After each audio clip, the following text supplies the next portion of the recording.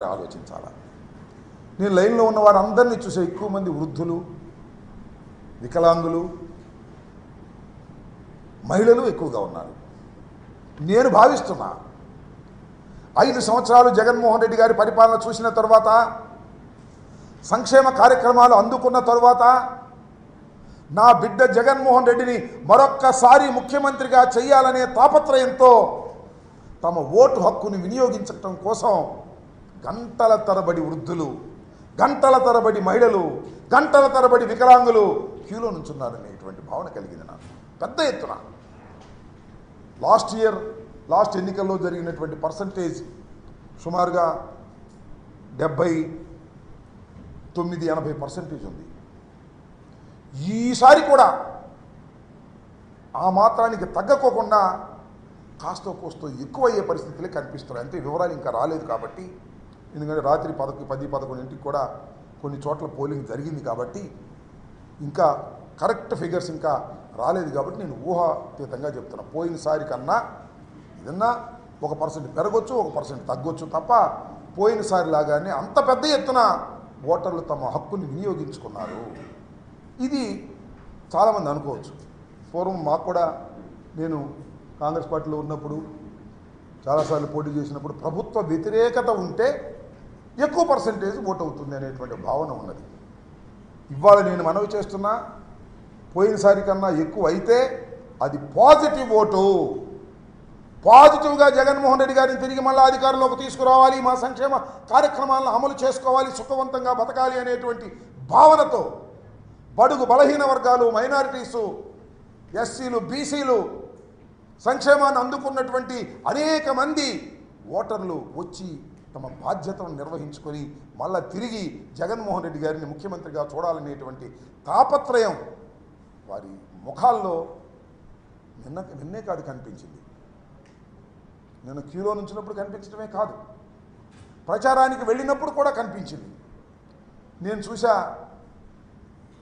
ఎనభై తొమ్మిదిలో మొదటిసారి పోటీ చేశా.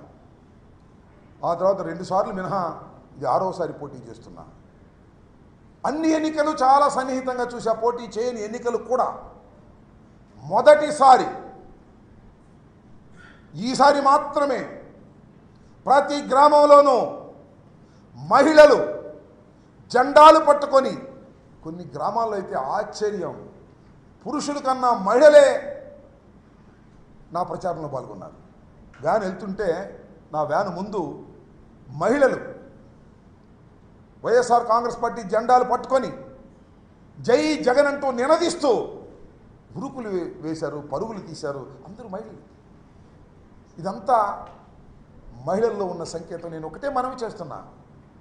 మహిళలు పెద్ద ఎత్తున సెవెంటీ పర్సెంట్ ఆఫ్ మహిళలు ఏ కులమైనా ఏ మతమైనా జగన్మోహన్ రెడ్డి గారికి ఓటు వేశారని నేను విశ్వసిస్తున్నా. ఎందుకో తెలుసా? జగన్మోహన్ రెడ్డి గారు మహిళలకు సాధికారత కల్పించాడు. అమ్మఒడి మహిళలకు ఇచ్చాడు. డోక్రా మహిళ రుణమాఫీ మహిళలకు ఇచ్చాడు. ఇళ్ళ పట్ట మహిళలకు ఇచ్చాడు. ఇట్లా ఏది చేసినా మహిళల ఖాతాల్లోకి చేసినటువంటి వ్యక్తి జగన్మోహన్ రెడ్డి గారు.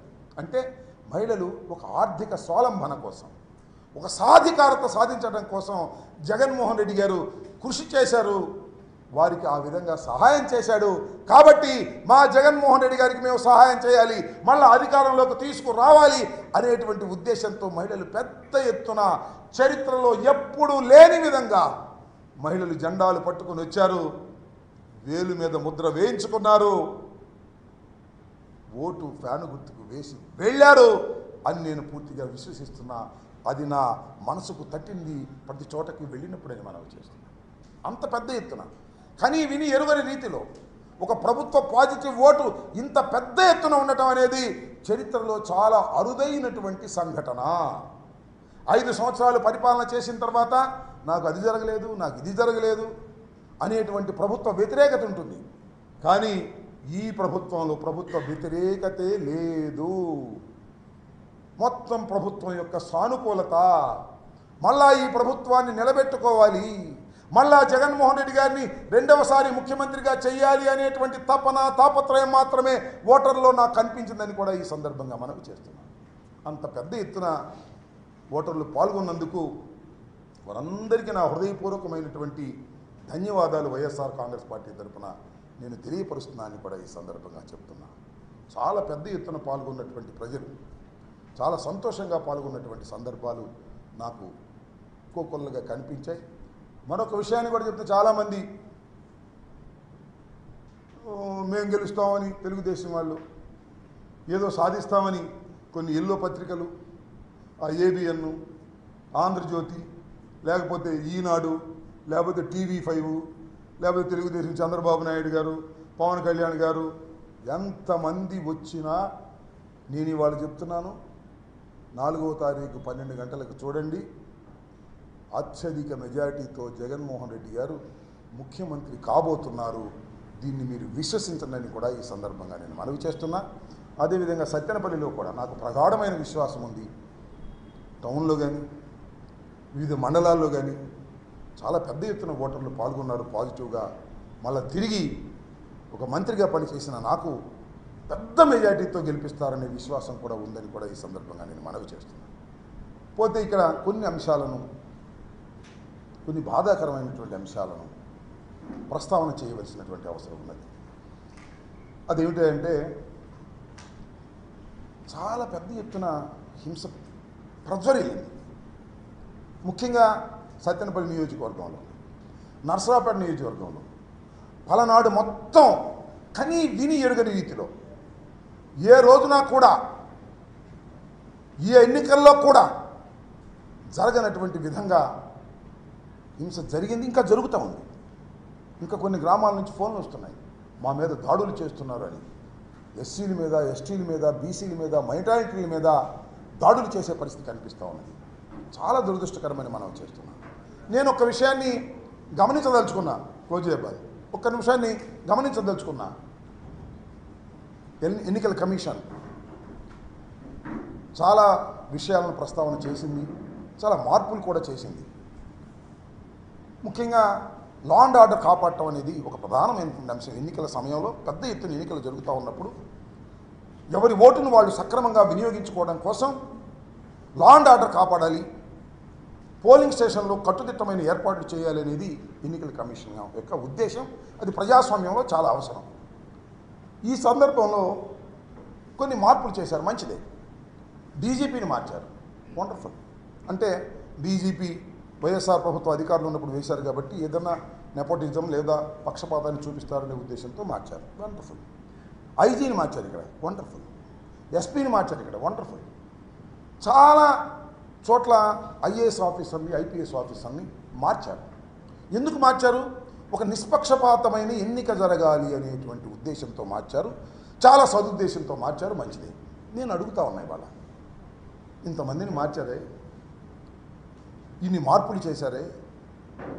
నిష్పక్షపాతంగా జరిగిందా? లాండ్ ఆర్డర్ కాపాడబడిందా? ఎంత బాధతో చెప్తున్నానంటే బోత్ సైడ్స్ ఇవాళ తెలుగుదేశం వాళ్ళు తనులు తిన్నారు కొన్ని చోట్ల. వైసీపీ వాళ్ళు తలకాయలు పగిలాయి. వైసీపీ వాళ్ళు ఫోన్లు చేసి అయ్యా మా ఊర్లో కొడుతున్నారు. మా పోలింగ్ బూత్ను ఆక్రమించుకున్నారు. దౌర్జన్యం చేస్తున్నారు. పోలీసులు పంపండి అంటే ఒక ప్రజాప్రతినిధిగా ఉన్నా నేను. ఒక మంత్రిగా ఇంకా ఉన్నా నేను. ఒక క్యాండిడేట్గా ఉన్నా నేను. పోలీసులకు ఫోన్ చేస్తే గంటల తరబడి పోలీసులు రీచ్ కానటువంటి పరిస్థితి. మ్యాన్ పవర్ లేదా? ఎందుకు రీచ్ కాలేదు? తలకాయలు పగిలిపోయి వాళ్ళు వాళ్ళు కొట్టుకొని అలిసిపోయిన తర్వాత పోలీసు వాళ్ళు వెళ్ళారు సినిమాల్లో వెళ్ళినట్టుగా ఏమిటి దుర్మార్గం ఉంటున్నా ఆఫ్టర్ ఫెయిల్ ఆఫ్ పోలీస్. నేను రాష్ట్రంలో ఫెయిల్ అయ్యారు. మరి ముఖ్యంగా పలనాడు ప్రాంతంలో ఆఫ్టర్ ఫెయిల్యూర్. పోలీసు యంత్రాంగం అంతా కూడా లా అండ్ ఆర్డర్ కాపాడటంలో పూర్తిగా విఫలమయ్యారు. ఇది నిస్సందేహం. పూర్తిగా ఫీల్ అయ్యారు ఫీల్ అయ్యారా నాకు ఇప్పుడు అనుమానం వస్తుందన్న ఫీల్ అయ్యారా లేక తెలుగుదేశంతో కొల్లుడయ్యారా? ఏమిటి? నాకు అర్థం కాదు నాకు చాలా చిత్రమైనటువంటి విషయాలు నేను గమనించాయి వాళ్ళ నా నియోజకవర్గంలో నిన్న నేను బూతులు తిరుగుతూ నకరికల్ వెళ్ళాను నకరికల్లో నాకు నకరికల్ ఎస్ఐ ఫోన్ చేసి సార్ ఇక మీరు తిరగడానికి వీల్లేదు. అందరినీ హౌస్ అరెస్ట్ చేసేయమన్నారు అని చెప్పారు. ఎవరు? మా పిఏకి చెప్పారు. మణి గోపాల్కి. చెప్పగానే నేను ఎస్పీ గారికి ఫోన్ చేశాను బిందు మాధవ్ గారికి. I have a respect on Bindu Madhav గారు IPS officer. I know very well. మనకు కూడా పనిచేశారు నాకు ఐ హ్యావ్ ఏ రెస్పెక్ట్ ఒక మంచి ఆఫీసర్ అనే అభిప్రాయం కూడా నాకు ఉంది ఇప్పుడు కూడా అదే ఉంది. ఆయనకి నేను ఫోన్ చేస్తే అవును sir election commission has given order మీరు హౌస్లో ఉన్నారు నేను సార్ మరి నగరికల్లో ఉన్నానంటే అయితే ఇమీడియట్గా మీరు మీ ఇంటికి వెళ్ళి సత్యనపల్లిలో ఉండండి అన్నారు ఇమీడియట్గా బయలుదేరి సత్యనపల్లి వచ్చా. సత్యనపల్లిలో కూర్చున్నా. ఫోన్ వచ్చింది నాకు. కుంకలగుంటలో కన్నా లక్ష్మీనారాయణ గారు తిరుగుతున్నాడు. మళ్ళా కాసేపు ఫోన్ వచ్చింది. గుల్లపల్లిలో కన్నా లక్ష్మీనారాయణ గారు తిరుగుతున్నాడు. నేను ఎస్పీ గారికి ఫోన్ చేశాను. వాట్ ఈజ్ దిస్ సార్ నన్నేమో తిరగొద్దన్నారు. నేనేమో ఒక లా అబైడింగ్ సిటిజన్గా ఒక మంత్రిగా నాకు సెక్యూరిటీ ఉన్నా ఇంట్లో కూర్చున్నాను. నా ప్రత్యర్థి తిరుగుతున్నాడు. ఏమిటి ఇది అన్న? No no sir communication with gap ఆ ప్రత్యర్థిని కూడా ఆపేస్తాము అన్నారు సరే అలా కూర్చున్నాను చాగంటి వారి పాలెంలో కన్నా లక్ష్మణ్ గారి కొడుకంట ఆయన వచ్చాడు. వచ్చి మీ అంతు తేలుస్తానని వార్నింగ్ ఇస్తున్నాడు అక్కడ. నాకు ఫోన్ చేశారు. ఆ తర్వాత అక్కడ సిఐ ఉన్నాడు రాంబాబు అని ఆయన నా పేరు గల ఆయనే. ఆ సీఐకి ఫోన్ చేసడానికి ప్రయత్నం చేశాను ఫోన్ ఎత్తలేదు. తర్వాత మళ్ళా ఎంపీపీ ద్వారా ఆ ఫోన్ ఇవ్వమన్నా. అతను ఏదో రెచ్చిపోయి మాట్లాడాడు. నేనేంచిన ఇచ్చిన అతనే? నా దగ్గరికి వస్తేనే నేను రికమెండ్ చేశా ఆ రోజుల్లో ఆ రాంబాబున. చాలా అగ్లీగా మాట్లాడేటువంటి పరిస్థితి కనిపించాడు. ఏంటి ఆయన అగ్లీగా మాట్లాడుతున్నావు? You are not a rowdy you are a police officer why you are talking like that నేనే వస్తున్నాను అక్కడికి నేను వెళ్ళాను ఎందుకంటే నేను వెళ్ళకూడదనుకున్నాను. ఇక్కడే ఎస్పీ గారు చెప్పాడు కాబట్టి ఉండాలనుకున్నాను. అవతల కన్నా లక్ష్మణ్ తిరుగుతున్నాడు. కన్నా లక్ష్మణ్ కొడుకు నాగరాజు తిరుగుతున్నాడు. నేను వెళ్ళకపోతే నా క్యాడర్ ఒప్పుకోరని నేను అక్కడికి వెళ్తే అక్కడి నుంచి బయటకు వచ్చాడు ఎస్పీ. పెద్ద పోలీసు ఇది ఉంటారు కదా ఈ మధ్య స్పెషల్గా వచ్చారు. ఆర్మీ వాళ్ళని తీసుకుని అక్కడికి వెళ్ళాడు. వెళ్ళి అక్కడ వాళ్ళందరినీ కొట్టించాలని ప్రయత్నం చేశాడు. ఈ రాంబాబు అనే వ్యక్తి సిఐఎఫ్ రూరల్ నా టైంలోనే ఇక్కడికి వచ్చాడు. ఒక ఆఫీసర్తో అంటే ఇతను వాళ్ళతో కొల్లుడు అయిపోయాడంటే మీ టైంలోనే కదండి వచ్చింది అన్నాడు. నిజమే నా టైంలోనే వచ్చాడు. నేను ఎవరికి నీకు మీ అందరికీ తెలుసు. నా నియోజక ప్రజలందరికీ తెలుసు. పోలీస్ ఆఫీసర్లు ఎవరన్నా రికమెండ్ చేస్తే నేను డబ్బులు తీసుకునే మనిషిని కాదు. ఈ రాంబాబు అనే వ్యక్తి నా టైంలో వచ్చి ఇవాళ అమ్ముడిపోయాడు. నా ఆరోపణ నాగరాజు దగ్గరికి వెళ్ళి డబ్బులు తెచ్చుకున్నాడు నన్ను కూడా ఎక్స్పెక్ట్ చేశారు. క్యాండిడేట్ నన్ను చాలామంది అడిగారు ఏమంటే పోలీసులకి ఏదో డబ్బులు ఇవ్వాలంటని? నో. ఐ ఏ మినిస్టర్ నా రికమెండేషన్తో వచ్చినటువంటి పోలీస్ ఆఫీసర్లను కొనేటటువంటి దుస్థితి నాకు పట్టదు. నేను చేయను అలా అని చెప్పా. ఆ పోలీస్ ఆఫీసర్ ఐదు లక్షలు ఆరు లక్షలు తీసుకుని కొల్లుడైపోయి వారికి సపోర్ట్ చేసే పరిస్థితి వచ్చిందంటే ఏం చేయాలి ప్రజాస్వామ్యంలో? ఒక మంత్రిగా ఒక సిన్సియర్గా పనిచేసిన మంత్రిగా పోలీస్ ఆఫీసర్ల పోస్టింగ్లో డబ్బులు తీసుకొని మంత్రిగా ఏం చేయాలి అని అడుగుతా ఉన్నా. మీకు చాలా చిత్రం. దమ్మాలపడేనే గ్రామంలో. ఒక బూత్లో. ఈ రాంబాబు అనే వ్యక్తి అక్కడ ఒక పోలీసుని పెట్టాడు. మళ్ళీ అవతల ఉన్న బూత్ నాకు అనుకూలంగా ఉండేటువంటి బూత్ రెడ్డిస్ ఉంటారు. అక్కడ మాత్రం ఆరుగురిని పెట్టాడు. దిస్ ద ప్లాన్ డబ్బులు తీసుకుని ప్లాన్ చేసే పరిస్థితి. ఈ బూత్లో ఏం చేశారు? వచ్చితే ఓటర్ వేయడానికి వస్తే స్లిప్ తీసుకుని ఎంపీకి వేయండి. మీ ఇష్టం వచ్చే వాళ్ళకి. ఎమ్మెల్యేకి మాత్రం కన్నాకు మేమే నొక్కుతాం అని నొక్కారు. సుమారుగా వెయ్యి ఓట్లు నొక్కారు అక్కడ. I'm going to report to the election officer repoll కోసం అడుగుతున్నా ఏం చేస్తారో చూద్దాం. నారినిపాడు మా అల్లుడు Upesh is a chief election agent వెళితే అద్దాలు బాగా ఫోన్ చేస్తే ఎత్తరు. పోలీసులు. వెళ్ళమంటే వెళ్ళరు colluded with Narinipadu Telugu Desam group వాళ్ళతో కొంచెం అయిపోయి డబ్బులు తీసుకుని ఆ సిఐ అందరిని అంటలే నేను. ఆ CI Rambabu colluded with Telugu Desam. అదేమంటే మీరేం జరగా అంటున్నారు అది వేరే అంశం. Colluded with Telugu Desam taking money purchased by Telugu Desam is doing like that ఏంటి ఇంకా ప్రజాస్వామ్యంలో. రక్షణ లేకపోతే. అయ్యా ఓటేస్తుంటే కొడుతున్నారు నాకు రక్షణ కావాలి అని అడుగుతుంటే పోలీసులు ఫోన్ చేస్తే పంపనటువంటి దుస్థితిలో ఉన్నామే. ఒకటి కాదు రెండు కాదు. కుంకలగుంట. చీమల మర్రి నారినిపాడు తమ్మాలపాడు తొండపి గోళ్ళ ఇది మన గుళ్ళపల్లి మాదల ఇవాళ కూడా మాదలతో జరిగే పరిస్థితి కనిపిస్తూ ఉంది. వాట్ ఇస్ మీరు మార్చారు పోలీస్ ఆఫీసర్లు ఎలక్షన్ కమిషన్. సిన్సియర్గా చేసేవాళ్ళని పెట్టారు మీరు. ఏంటి జరిగిందని అడుగుతా ఉన్నా. రివ్యూ ఇట్ పోలీస్ ఏం చేసిందనే దాని మీద రివ్యూ జరగాలి ఎలక్షన్ కమిషన్ అని కూడా మనం చేస్తున్న. దుర్మార్గమైనటువంటి రాజకీయాలు చేశారు ఇవాళ. మేము ప్రభుత్వంలో ఉన్నామో లేదో మాకు అర్థం కానటువంటి పరిస్థితి. న్యూట్రల్ అపోజిషన్లో కూడా మాకు ఇంతకన్నా బాగా జరిగిందని కూడా మనం చేస్తున్నాం. ఆర్తనాదాలు చేస్తున్నటువంటి వైసీపీ కార్యకర్తలకి పోలీసుల్ని పంపలేని దీన స్థితిలో ఇవాళ మేము ఉన్నాం అభ్యర్థులు అంటే నాకు నిజంగా బాధేస్తుంది గుండె తరిగిపోతుందని కూడా మనం చేస్తున్నాం. ఇంత దుర్మార్గమైనటువంటి పరిపాలన ఇక్కడ జరిగింది ఈ ఎలక్షన్ కమిషన్ టైంలో అనేది నాకు బాధ. సిఐ ఎత్తడు డిఎస్పీ ఎత్తడు ఎస్పీ ఇస్తాడు ఎస్పీ గారు పాపం మాట్లాడుతూ ఉన్నాడు.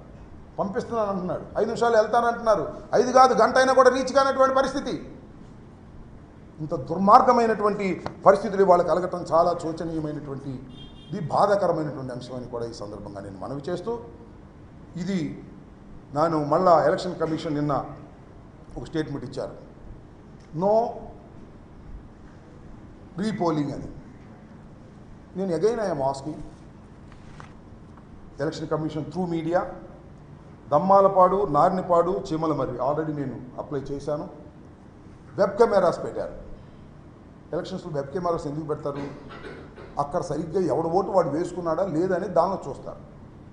అది చూసి ఎవడ ఓటు వాడు వేసుకోలేదనుకో రీపోలింగ్ పెట్టాలి కదా. ఎందుకు పెట్టింది?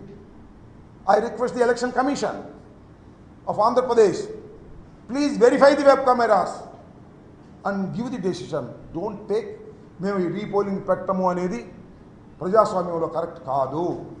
మా విన్నపాలు తీసుకోండి. తీసుకొని పరిశీలించండి. పోలింగ్ ఆఫీసర్స్ కూడా కొల్యుడైపోయారు కొన్ని చోట్ల పోలీసులతో పాటు. డబ్బులు ఇచ్చారో బెదిరిపోయారో భయపడ్డారో వాళ్ళు చెప్పినట్టు విన్నారు వాళ్ళు రాయలేదు పుస్తకంలో. అది కాదు ప్రధానమైంది. You see the web cameras web కెమెరాలో చూసి ఎవడి ఓటు వాడు వేసుకుంటే మాకేం అభ్యంతరం లేదు. ఐదు గంటలకే మహిళలు వృద్ధులు వచ్చి లైన్లో నిలబడ్డారు. పెద్ద ఎత్తున లైన్లో నిలబడి తన ఓటు హక్కును వినియోగించుకున్నారు. దీనికి కారణం ఏమిటి? దీనికి సంకేతం ఏమిటి? అనే విషయాన్ని మనం ఒకసారి ఆలోచించాలి? నేను లైన్లో ఉన్న వారందరినీ చూసే ఎక్కువ మంది వృద్ధులు వికలాంగులు మహిళలు ఎక్కువగా ఉన్నారు. నేను భావిస్తున్నా ఐదు సంవత్సరాలు జగన్మోహన్ రెడ్డి గారి పరిపాలన చూసిన తర్వాత సంక్షేమ కార్యక్రమాలు అందుకున్న తర్వాత నా బిడ్డ జగన్మోహన్ రెడ్డిని మరొక్కసారి ముఖ్యమంత్రిగా చేయాలనే తాపత్రయంతో తమ ఓటు హక్కును వినియోగించటం కోసం గంటల తరబడి వృద్ధులు గంటల తరబడి మహిళలు గంటల తరబడి వికలాంగులు క్యూలో నుంచున్నారనేటువంటి భావన కలిగింది నాకు. పెద్ద ఎత్తున. లాస్ట్ ఇయర్ లాస్ట్ ఎన్నికల్లో జరిగినటువంటి పర్సంటేజ్ సుమారుగా డెబ్భై తొమ్మిది ఎనభై పర్సెంటేజ్ ఉంది. ఈసారి కూడా ఆ మాత్రానికి తగ్గకోకుండా కాస్తో కోస్తో ఎక్కువయ్యే పరిస్థితులే కనిపిస్తున్నాయి. అంతే వివరాలు ఇంకా రాలేదు కాబట్టి ఎందుకంటే రాత్రి పదకొ పది పదకొండింటికి కూడా కొన్ని చోట్ల పోలింగ్ జరిగింది కాబట్టి ఇంకా కరెక్ట్ ఫిగర్స్ ఇంకా రాలేదు కాబట్టి నేను ఊహాతీతంగా చెప్తున్నా. పోయినసారి కన్నా ఏదన్నా ఒక పర్సెంట్ పెరగొచ్చు ఒక పర్సెంట్ తగ్గొచ్చు తప్ప పోయినసారి లాగానే అంత పెద్ద ఎత్తున ఓటర్లు తమ హక్కుని వినియోగించుకున్నారు. ఇది చాలామంది అనుకోవచ్చు. పూర్వం మాకు కూడా నేను కాంగ్రెస్ పార్టీలో ఉన్నప్పుడు చాలాసార్లు పోటీ చేసినప్పుడు ప్రభుత్వ వ్యతిరేకత ఉంటే ఎక్కువ పర్సంటేజ్ ఓట్ అవుతుంది అనేటువంటి భావన ఉన్నది. ఇవాళ నేను మనవి చేస్తున్నా పోయినసారి కన్నా ఎక్కువ అయితే అది పాజిటివ్ ఓటు. పాజిటివ్గా జగన్మోహన్ రెడ్డి గారిని తిరిగి మళ్ళీ అధికారంలోకి తీసుకురావాలి మా సంక్షేమ కార్యక్రమాలను అమలు చేసుకోవాలి సుఖవంతంగా బతకాలి అనేటువంటి భావనతో బడుగు బలహీన వర్గాలు మైనారిటీసు ఎస్సీలు బీసీలు సంక్షేమాన్ని అందుకున్నటువంటి అనేక మంది ఓటర్లు వచ్చి తమ బాధ్యతను నిర్వహించుకొని మళ్ళా తిరిగి జగన్మోహన్ రెడ్డి గారిని ముఖ్యమంత్రిగా చూడాలనేటువంటి తాపత్రయం వారి ముఖాల్లో నిన్న నిన్నే కాదు కనిపించింది. నేను క్యూలో నుంచినప్పుడు కనిపించడమే కాదు. ప్రచారానికి వెళ్ళినప్పుడు కూడా కనిపించింది. నేను చూసా ఎనభై తొమ్మిదిలో మొదటిసారి పోటీ చేశా. ఆ తర్వాత రెండుసార్లు మినహా ఇది ఆరోసారి పోటీ చేస్తున్నా. అన్ని ఎన్నికలు చాలా సన్నిహితంగా చూసా పోటీ చేయని ఎన్నికలు కూడా మొదటిసారి ఈసారి మాత్రమే ప్రతి గ్రామంలోనూ మహిళలు జెండాలు పట్టుకొని కొన్ని గ్రామాల్లో అయితే ఆశ్చర్యం పురుషుల కన్నా మహిళలే నా ప్రచారంలో పాల్గొన్నారు. వ్యాన్ వెళ్తుంటే నా వ్యాన్ ముందు మహిళలు వైఎస్ఆర్ కాంగ్రెస్ పార్టీ జెండాలు పట్టుకొని జై జగన్ అంటూ నినదిస్తూ ఉరుకులు వే- వేశారు పరుగులు తీశారు. అందరూ మహిళలు. ఇదంతా మహిళల్లో ఉన్న సంకేతం. నేను ఒకటే మనవి చేస్తున్నా. మహిళలు పెద్ద ఎత్తున సెవెంటీ పర్సెంట్ ఆఫ్ మహిళలు ఏ కులమైనా ఏ మతమైనా జగన్మోహన్ రెడ్డి గారికి ఓటు వేశారని నేను విశ్వసిస్తున్నా. ఎందుకో తెలుసా? జగన్మోహన్ రెడ్డి గారు మహిళలకు సాధికారత కల్పించాడు.